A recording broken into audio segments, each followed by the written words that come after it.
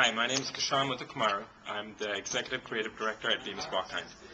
Judging for the packaging and display went really well, surprisingly well. Um, the thing I think I would want to tell you guys is when you show the work, show it really well so that the judges can actually make sense out of it. The other thing is if it's not good enough, don't enter it in. Um, in general, everything was pretty good, but um, there's always room for improvement. So the next year, try to judge, uh, try to send something that um, is even better than you did this year. Thanks.